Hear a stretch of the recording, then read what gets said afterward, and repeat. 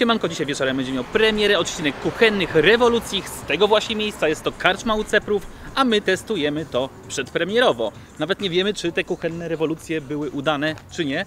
Zobaczymy. Menu Magdy Gessler jest tutaj widoczne z zewnątrz, więc no to byłaby wskazówka, że jednak udane, ale nie będziemy o to pytać obsługi. Wyjdziemy, spróbujemy dań chyba Magdy Gessler, coś może jeszcze z głównej karty. Wcześniej nazywało się Karpielówka, teraz jest Karczma u Ceprów, za kamerą jest Wróbel. Przywitaj się. Dzień dobry. TVN. Dobra, lecimy. Dostaliśmy już stolik bez żadnego problemu e, i tutaj na stole widzę stoi menu pani Magdy Gessler, no więc by wszystko wskazywało na to, że jednak tutaj udane rewolucje były. I tak, mamy cztery pozycje z tego menu pani Magdy Gessler. Jest to przystawka e, Napoleonka, co ciekawe. Od Napoleonka się kojarzy bardzo słodkim jedzeniem, raczej z deserem niż przystawką. A tu jest właśnie Napoleonka z musem mascarpone, oscypkiem, serem wędzonym i konfiturą z pieczonej papryki i żurawiny. Takie dosyć osobliwe połączenie. Spróbujemy, nie chyba wszystko z Magdy Gessler weźmiemy. Jest jeszcze kwaśnica parzybroda na baraninie ze skwarkami, pulpety z baraniny duszone w warzywach z kaszą perłową z rodzynkami i surówką z rzodkwi. I do tego mamy na deser ptysia z kremem mascarpone, chałwą z bito śmietaną, orzechami włoskimi i syropem klonowym. I myślę, że to będzie to, co weźmiemy, nie wróbel? No, myślałem, To że większy z tym. Tak, y, Cztery pozycje. cztery pozycje, ale ona zwykle daje 3-4 pozycje, nie? Cztery. Jak byliśmy w. Idziemy w góry. A właśnie, będzie fajne porównanie, bo ostatni nasz filmik to było Idziemy w góry z Sosnowca, gdzie faktycznie też była karma, y, karczma, która była w góralskim stylu, pamiętasz? I tam też pozycje były z y, baraniny. Tam była zupa barania i była taka mm, bejcowana y, baranina. I co najlepsze, wtedy wyszło, że najlepsze dania główne to były te, które były danej karczmy, a nie Magdy Gessler. Y, Zobaczymy jak tutaj te baranina, ale to też przez to, że baranina jest ciężkim mięsem do zrobienia. Jak tu patrzę na menu, to mamy tak, y, poza tymi daniami pani Magdy Gessler jest właśnie tutaj takie góralskie jedzenie, takie karkówka, jakieś y, jadłodrwala, czyli macz polędwiczki na jakimś placku ziemniaczanym, oscypki się pojawiają, jakieś właśnie sosy grzybowe. Właśnie, jestem ciekaw, czy to oscypek, czy serek góralski, bo to jednak trzeba uważać, bo e, wątpię, żeby to były oscypki dostępne, bo jednak no to, to, to raczej oscypki się mówi potocznie na te serki góralskie, ale oscypki to są nazwa zastrzeżona. Podoba mi się to, że muzyka jest, ale cicho, nie tak nachalnie jak często w górach. Menu Magdy Gessler, żur z borownikami. I tu zgaduję, że specjalnością jest kaczka, bo jest nazwa karpielówka jeszcze Chyba, poprzednia. że pan coś innego poleca. Jadłodrwala też. Barszy. Nawet. to jadło, tak? I jadło weźmiemy, tak. A szcypek to szcypek czy serek? Nie, nie, o, y, serek, bo jest y, cudzysłowiut, więc to jest y, Czy my, no serek to raczej. Wiecie jak to jest no, z tym jeszcze, że jest ta sezonowość. My zawsze, Tak, jest sezonowość. Od, od zawsze spotkala ciągniemy odkąd ten lokal stoi, Mhm. więc zawsze przyjeżdża z gór. bo W zależności jaki jest sezon, no to albo jest Jeżeli się da, to jest oscypek, tak. a jak nie, to serek góralski. No tak, no bo to jest... taka jest produkcja jakby. Tak, to tak jak w lato jadą nad morze i się pytają, czy świeży dorsz. No, no, tak, tak, świeży, ale to wtedy nie ma połowów dorszy. Więc musi być mrożone. A mam pytanie, te, te, ta przystawka to ona jest taka słodko-wytrawna? Słodko-słona, no, No właśnie, to jest dla mnie- Mhm. Ciasta, więc jest ciasto faktycznie, ale środek jest słony, bardzo fajny. I ciekawa jest ta konfitura z czerwonej papryki. Z. No właśnie, mnie to ciekawe. Fajne przełamanie smaku. Dobra, zobaczymy. Dobra. Dziękuję bardzo. Bardzo miły kelner, trzeba przyznać. I doradził, my chcieliśmy tu kaczkę, on tutaj poradził to jadło. Ty dr- jadło chyba jadłeś? Tak, Nie jadłem. mów. Dobra, no co, dostaliśmy tutaj czekadełko, to jest smalec, widzę, ze skwarkami i jakieś cztery kromki chleba. Open, lepszy chleb niż z cateringu od pani Magdy Gessler. Ja akurat jestem po tygodniu testowania cateringu pani Magdy Gessler i powiem tak. Chyba moje kubki smakowe są dalekie od tego, co ona przynajmniej tam y, swoją twarzą sygnuje. Nie wiem, czy to jest jej, czy ona po prostu sygnuje, ale, Rzu- Rzucasz e, plastikowymi ale pudełkami? wiesz co powiedziałem, bo to nie mówiłem. Ja to nazwałem, że to jest piekarnia, y, piekarnia pomidor, a nie y, catering pomidor, bo ja w czwartek, no ty, słuchaj, codziennie na śniadanie chleb, na kolację zwykle chleb. Człowieku, to zapychacz po prostu chleb, ale nie były takie mięciutkie jak tutaj. Może jakby był, to by było i by były inne odczucia. Dobra, ja sobie tutaj spróbuję. Nie będziemy się obiadać w nie, bo i tak mamy dużo porcji. Hmm. Całkiem spoko. Chleb bardzo dobry. Natomiast jakby troszeczkę więcej skwarek było, no ale to jest przystawka, tak więc ja się tutaj nie będę czepiać. I tutaj tylko jednej rzeczy brakuje, ogórka.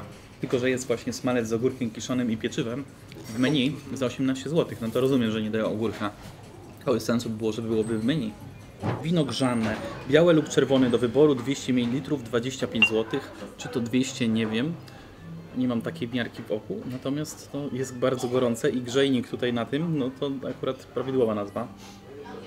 To jest grzaniec z, jak z watry, z zakopanego skrupówek, co my chodziliśmy zawsze. Mamy tutaj już naszą przystawkę i jest to właśnie z menu pani Magdy Gessler.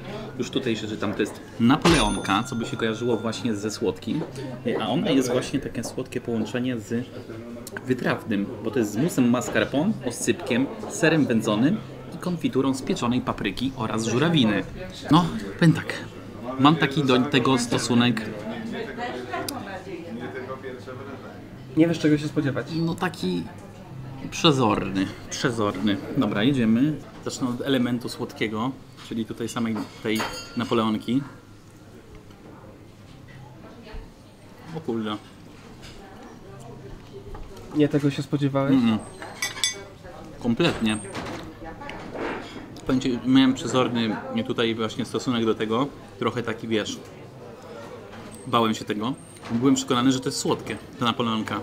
A ta Napoleonka nazwa to jest od wyglądu tego. Ten mus, który tu macie, znaczy ten tutaj to, cały ten element, ten mu, czy to mus no tak naprawdę, środek farsz, to jest mascarpone z osypkiem, z tym serkiem. Czyli To, I to nie, to nie jest słodkie. No mascarpone sam Masz- sobie jest słodki. Masz element takiej kremowości od mascarpone i to normalnie jakbyś osypka wpierdzielał. Przepraszam, serek, serek góralski, no zależy w której okresie roku, jak słyszeliście. Konfitura z pieczonej papryki i żurawiny. A tu tutaj jest papryka, to widać nawet kolorami oddzielone. Tak jak podobny do moich rodziców, co robią właśnie ten właśnie taką konfiturę taki, no dla nas to ketchup taki domowy, tylko właśnie paprykowy. Bardzo dobre to. Jeszcze z żurawiną spróbuję. Ale no powiem Ci, że jestem zaskoczony, bo naprawdę bałem się najbardziej tego dania i się zastanawiałem, czy w ogóle je zamawiać, bo mówię, co za zamix. A po tym tygodniu z, z cateringiem pani Magdy Gessler wiem, że no te dziwne połączenia to jak, jak jest coś naprawdę bardzo dziwne, to faktycznie dziwnie smakuje i nie zawsze dobrze. No. Pani Edet z żurawiną. Bardzo dobre to. Co ja mogę powiedzieć? Bardzo dobre. Znaczy jestem zaskoczony, bo już się nastawiłem tak mentalnie na zjechanie tego dania. Tu naprawdę fajna przystawka. I powiem wam tak, ten serek tutaj w środku to jest z mascarpone, ten góralski, ten oscypek, co jest napisane, że oscypek, to, to jest bardzo mocno czuć właśnie ten wędzony ser. Yy, No czuć, że po prostu się to je. Naprawdę bardzo fajne. Mascarpone to w ogóle nie czuję. Czuć kremowość masz w tym, w tym farszu tutaj. No spoko, czekaj, kurczę, coś mi przypomina. Ze ten- smaku nie czujesz tego mascarpone, czujesz kremowości. No spoko, coś innego, nie? No. Można przez moment się poczuć jak w górach, w Zakopanem.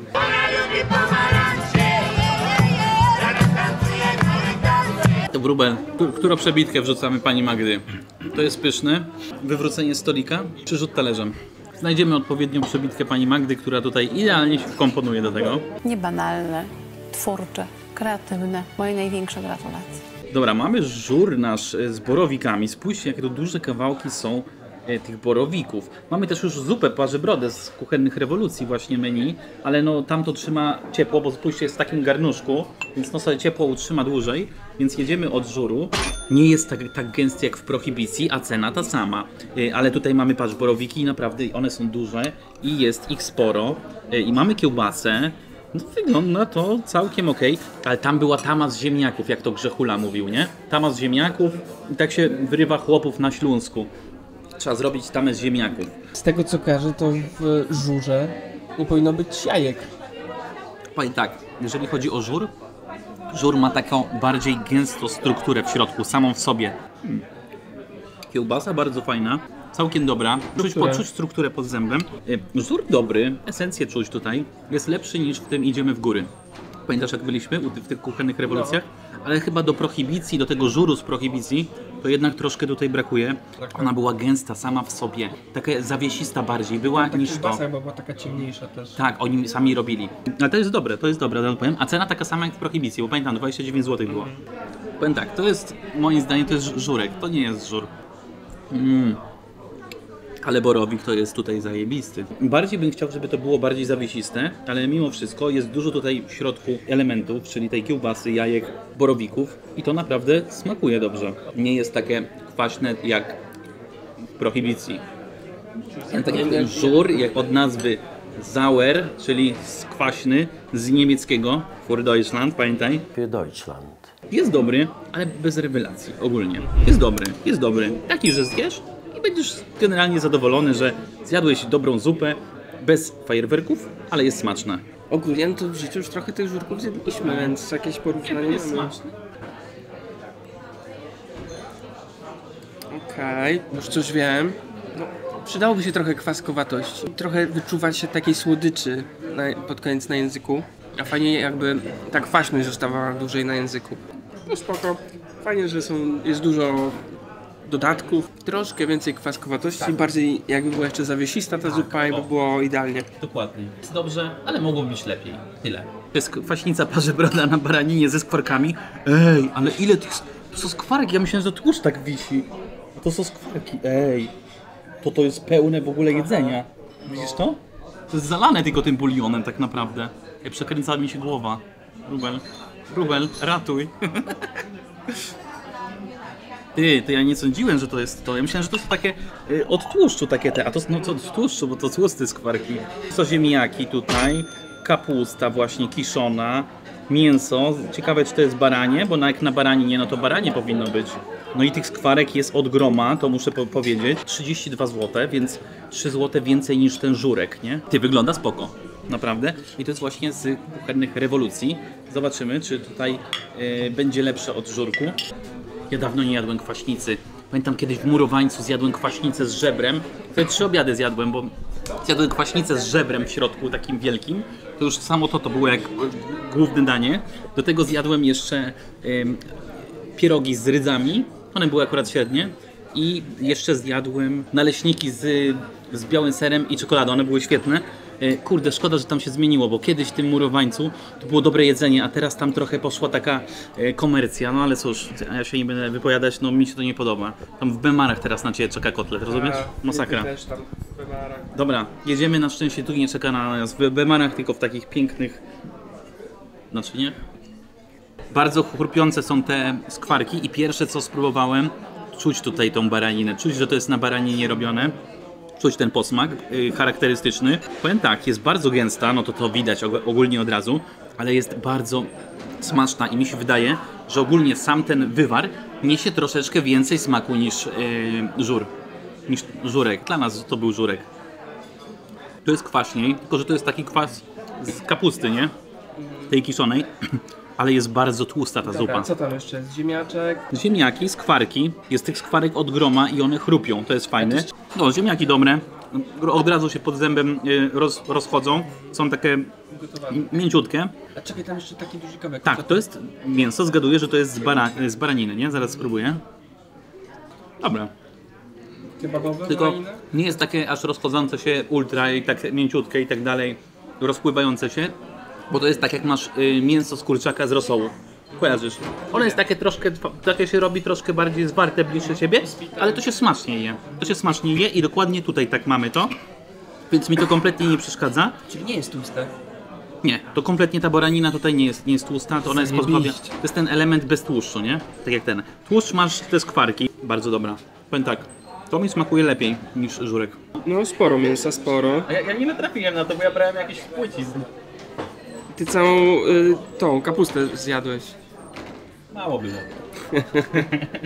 Czujesz w samym tym barana? Tak, tak, czuć. Ale to nie jest taki negatywny posmak, tylko taki spoko, że... Smaczny.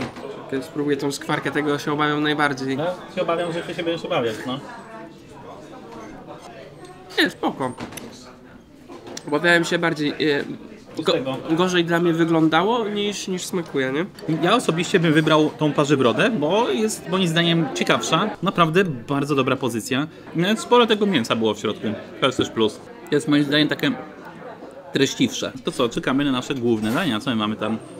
Pulpety z baraniny duszone w warzywach. Tu w tym daniu mnie jedną rzecz martwi. Baranina? Nie, punkt drugi. Z kaszą perłową z rodzynkami. Ja rozumiem jeszcze surówki jakieś robią z rodzynkami. Da się to jakoś przełknąć. Natomiast kasza perłowa z rodzynkami, to nie wiem, czy ja to przełknę. Napoleonki też nie byłeś pewny, czy przełkniesz, a wcinałeś, aż ci się uszy trzęsły. Powiem tak, z rodzynkami już tyle razy się spotykaliśmy w różnych wydaniach i No ale ty lubisz rodzynki, czy nie? Jesteś... y, same rodzynki mogę zjeść, jakby były w czekoladzie albo same spoko, ale jak ktoś mi da sernik z, z rodzynkami, to tak jakbym 500 lat temu dostał czarną polewkę. Rozumiesz? Co to jest czarna polewka? No czernina. Czerniny dawało się, jak kawaler przychodził do kobitki i no, zaloty były no, generalnie niezaakceptowane, to dostawał sobie na obiad czarnopolewkę, no i kończył obiad i wiśtawiono. Zróbmy odcinek o sernikach. Review serników w Warszawie. Ja akurat serniki uwielbiam, mogę w każdej ilości, tylko bez rodzynek. Dajcie znać w komentarzach, czy jesteście team y, sernik z rodzynkami, czy sernik bez rodzynek. Mam nadzieję, że no, nie będziemy musieli się z niektórymi rozstać tutaj. Przy okazji, jak jeszcze przygotowują nam główne dania, ja kończę parzybronę, to macie chwilkę na zasubskrybowanie kanału. Oczywiście, jeżeli tego nie robicie. No i danie lajka, nie? Mamy już dania główne i tak, zaczynamy od jadła drwala. Ono kosztowało 67 zł i powiem Wam, że porcja jest naprawdę duża, no. E, I do tego mamy tutaj taki sos grzybowy. E, Co to jest? To są właśnie placuszki ziemniaczane z polędwiczką, wieprzową i do tego mamy tutaj jeszcze grillowanego oscypka, widzę kawałkiem jest pomidorki. Nie wiem, czy to Gesslerowa im kazała dodać pomidorki, bo tu prawie w każdym daniu są pomidorki dodawane, a jak miałem catering właśnie od tej Gesslerowej teraz, bo dieta się nazywa pomidor i prawie w każdym oni dodawali tego pomidorka, chyba, że to był jakiś deser czy coś, do czego się nie dało dodać, nie? Pomidorka. Jeden był, tylko takie konsekwentnie dodawali, bo to niby pani Gesslerowej ulubiony y, jest warzywo, tak? I to jest właśnie na gulaszu wieprzowym. No zobaczymy. A, a tam pod spodem jest ten gulasz wieprzowy. No dobra, jeszcze tutaj mamy ogórek kiszony, widzę, ale niedużo go jest. Tu, tu, tu. Y, dobra, co ja tu poleję od razu, nie? Widelczyk, nożyk. Jedziemy. Powiem tak, widziałem, że te polędwiczki, one są takie, czy one są dopieczone, tak? Czy co? Czy one są przysuszone niestety, ale zaraz się do tego dowiem. Spróbuję to jako całość. Wiesz, no bo to jednak ra- razem ma się wszystko komponować. Widelec wchodzi w miarę gładko. Bardzo dobry jest ten sos. Tylko ja bym jedną rzecz zrobił. Dodać pieprzu troszeczkę. Troszeczkę pieprzu, bo ja lubię jak ten sos grzybowy, on jest jednak taki dopieprzony bardziej. No bo tutaj muszę przyznać, że on jest taki delikatny, jeżeli chodzi o to, mm, o pikantność. Bardzo dobry ten sos jest, generalnie. I świetne są placki, dobrze dosmażone. Spójrzcie, na złoto. Bardzo dobrze wysmażone. Do nich nie mogę się przyczepić. I na słoność też są bardzo dobre. Jednak jedyna rzeczą, do której się lekko przyczepię, to minimalnie jest przeciągnięta ta polędwiczka ale to też ona miejscami tylko przyciągnięta. Nie wiem, akurat w tym pierwszym kęsie była bardziej, w tym drugim to już spoko się wchodziło, więc to takie na skraju, wiesz o co chodzi. Że jeszcze jest git, ale już chwilę dłużej i mogłoby już nie być, ale jest, generalnie jest spoko. Dobra, jedziemy tego osypka z boczkiem. Nie pasuje mi ten boczek. Taki mocno słony, razem z tym oscypkiem tym bardziej. No niestety dla mnie zasłonę, to tak, więc ten element boczku i tego oscypka ja bym pominął w ogóle. Same placki właśnie z y, polędwiczkami, tutaj z tym gulaszem y, i z sosem grzybowym, o którego sobie dodam, są bardzo dobre. Natomiast ja bym wolał na przykład, żeby tu nie było tego oscypka i tego boczku i było to danie na przykład dychę tańsze, nie? Danie ogólnie jest smaczne, tego nie mogę powiedzieć, zarzucić, że nie. Ale w samym tym daniu polędwiczka jest na skraju przyciągnięcia, ale jeszcze jest git. Natomiast, no, jak, ja, jak mówiłem, nie będę się powtarzać, ale się powtórzę jeszcze raz. Oscypek i boczek mogłoby ich nie być i troszkę obniżyć cenę dania byłoby super. Y, Tak jest po prostu ok. Jest całkiem nieźle. W środku jest soczysta i coś, co nie do końca pewnie mi przypadnie. Nawet mi nie przypadło. Tak wysmażone, że w ogóle nie widać tłuszczu. A podoba Ci się? Muszę przegryźć plackiem, aż tak zasoliło. Słone, co? Ogólnie w porządku danie, jest dużo smaku do wyboru, tak? To, to co chcesz sobie jesz. No cena jest wysoka, 69 zł. 67. 67. No to co to? Trawa. O, ciekawe jak smakuje trawa. Mm, every day. Co tu mamy? To są pulpety z baraniny i one są duszone w warzywach i to jest kasza z rodzynkami, jak widzimy. No to są takie duże rodzynki, więc może będzie można wyjąć. E, I do tego mamy e, surówkę z rzodkwi. Zacznę od tej surówki już. Mmm, to jest z chrzanem? To jest bankowo z chrzanem, ale intensywne w smaku, ja cię kręcę. Nie wiem, czy samo nie jest zbyt intensywne dla mnie, aż. Jeszcze do tego mamy tutaj tą chrzan, to naprawdę mocne smaki. Mm. Smaczne to jest, ale nie wiem, jak, czy cało bym zjadł to Michał. Kasza perłowa, dobra kasza, ale jest al dente, więc to też musi ktoś lubić. Yy, I ona ma lekki, słodkawy smak, może od tych rodzynek. No pewnie tak. Jak z nimi były robione, jest lekko słodki smak i wiesz co, mi podoba się to. Chwale. A gdzie rosną rodzynki? Na drzewach, Na drzewach. na drzewach. Dobra, jedziemy tutaj te pulpety w warzywach. Baranie. Bardzo dobrze się kroi. Ojej, jak O, ale tutaj i ciemne, intensywne mięso. właśnie widać intensywnie przyprawione, takie wygląda, nie? O, jaki zapach mocny. Ale skrzywiłeś się jakby ci nie... Nie, bo nie spodziewałem się, że taki, wiesz, ej, kurde, to tutaj naprawdę bomba jest smaków, to jest mocne, to takie neutralizujące mocno, a to, powiem tak, nie czy to dobrze, czy to źle, po prostu tak jest, że ta baranina nie jest tak mocno wyczuwalna przez te warzywa, które one zostały uduszone w tych warzywach, to jest sos taki pomidorowy, mi się wydaje, że to pomidorowo-paprykowy bardziej i generalnie ten, ona jest, ten mm, esencja cała poszła w tego pulpeta, nie? Generalnie mocno on jest przesiąknięty tymi smakami z zewnątrz, właśnie tego gulaszu takiego. To jest gulasz? Duszone w warzywach po prostu. A to jest właśnie takie paprykowo-pomidorowe coś, naprawdę spoko. Naprawdę spoko. Yy, tylko właśnie nie czuć tak bardzo baraniny. Bardziej czułem w tej zupie. Ale kurde, Powiem tak, jeżeli ktoś nie jest fanem takich naprawdę intensywnych smaków, to tego nie bierzcie. Po prostu. Bo to będzie dla Was za mocne. Eksplozja smaków tutaj jest normalnie jak w Energy 2000. Naprawdę te smaki są mocno intensywne. Tak samo ta rzodkiew. Yy, Jest to smaczne, ale nie każdemu to generalnie przypasuje. To jestem o tym przekonany. Więc jeżeli lubicie wyraziste smaki, to tutaj je zdecydowanie znajdziecie. Ja takiego dużego kawałka jak ty nie odważę się wziąć, bo ja z tym baranem to jednak wolę uważać. Rzut talerzem. To mi przypomina, jak są te kebaby na mm, szpadach. Adana. No, to przypomina mi to mięcho, taki smak. No bo tam też pewnie baran jest, nie?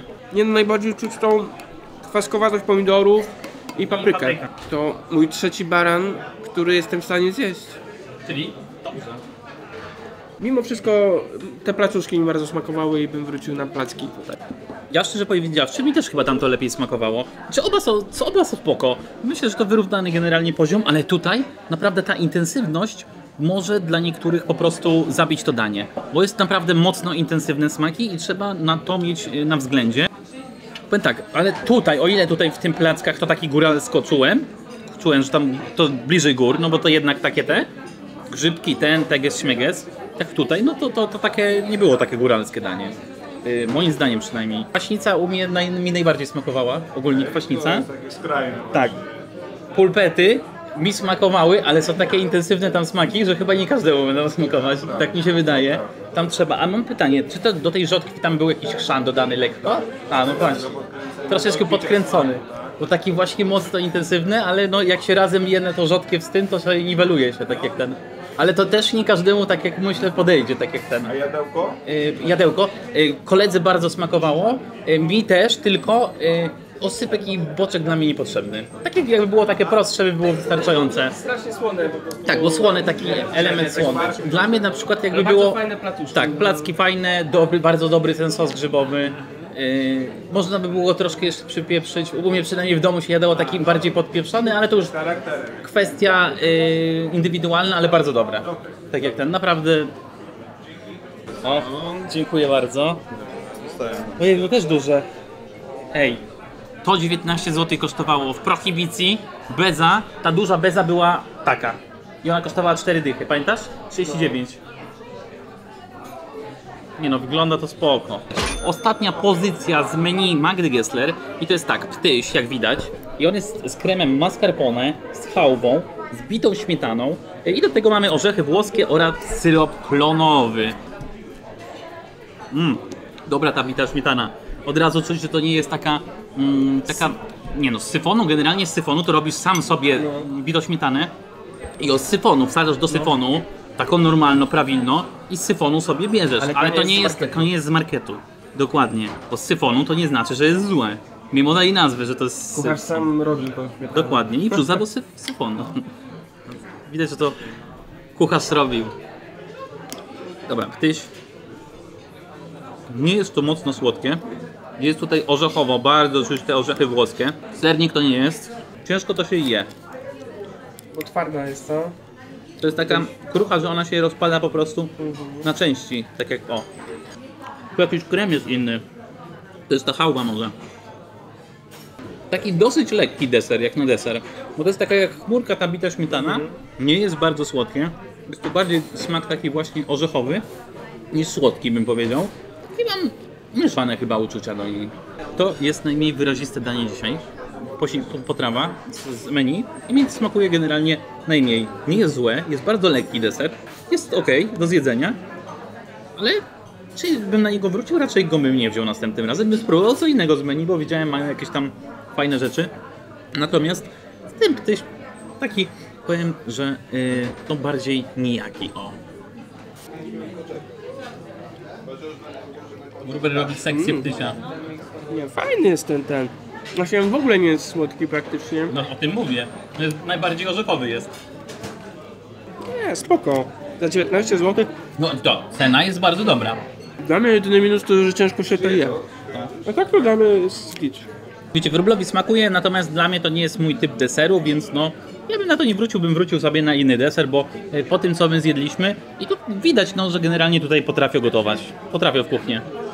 My płacimy i podsumowanie na dworzu, no ale co tu mamy podsumowywać? Chyba wszystko powiedzieliśmy tak naprawdę, ale w tym czasie co my będziemy płacić, no to zachęcam do subskrypcji, jeżeli tego jeszcze nie zrobiliście wcześniej.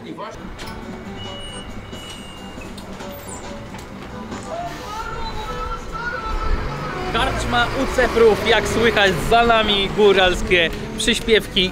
Ogólnie smaczne miejsce.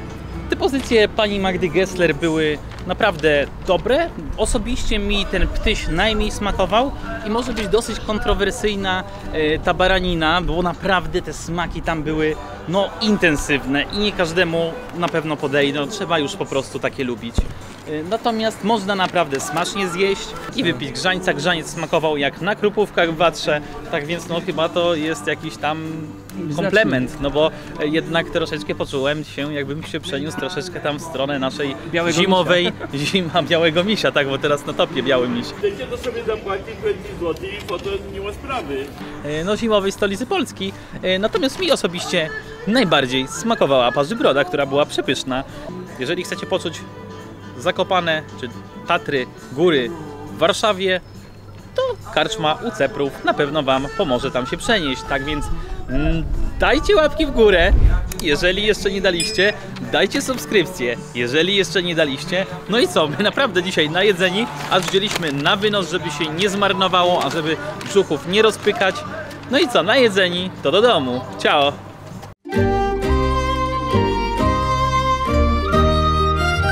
Razu jak tak czeka. Rzodkiewki, jak rzodkwi. Rzodkwi. Rzodkiew. Rzodkiewki. Rzo- to nie jest rzodkiewki. Jest coś takiego jak rzodkiew wróbel. Takie białe, duża bulwa. Biała. To biała rzodkiewka, to... Ja zawsze byłem... Rzodkwi. Nie wiesz, co to jest rzodkiew? Rzodkiew... Duża rzodkiewka, nie, nie różowa, tylko biała cała. Ale No i- smak ma podobny. No i to jest rzodkiew.